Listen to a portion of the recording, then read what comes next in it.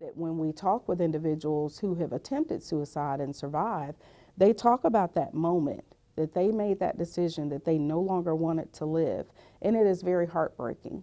Um, when they when they explain to you that although other people may be going through the same thing in that moment they feel the greatest pain that they've ever felt before in their lives.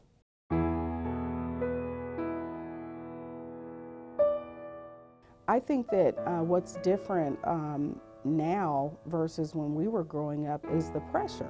The pressure that the kids are under now, um, I, I don't think it compares um, the, to the pressure we had, whether it's socially, whether it's academics and their grades. Um, because of social media, there, there is a need. There's a need to be liked. So we know that we've seen an increase in the number of our kids that are committing suicide. Um, just this year alone in 2017, we've seen 19 cases that have been confirmed. Um, that does not mean that there may not be a case that's still under investigation. Um, we know that the majority of those deaths occurred within the last two months.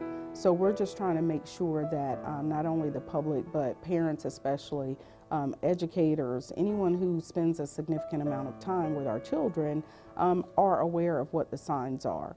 Recognize the signs. Um, if a child is, uh, whether they're displaying behavior that is odd or different or outside of the norm. Um, if you have a child that's already suffering from depression, already been diagnosed um, with mental health issues and under a doctor's care, you have to react a lot sooner um, when these children um, either voice uh, suicidal ideations or if you notice a drastic change in behavior, things that they uh, enjoyed doing before, they don't want to do, excessive sleeping, things of those nature. Um, we know that, you know, kids may not talk to us. They may not talk to parents, but kids talk to other, to other kids. So we like to use the, the, the phrase, if you see something, say something.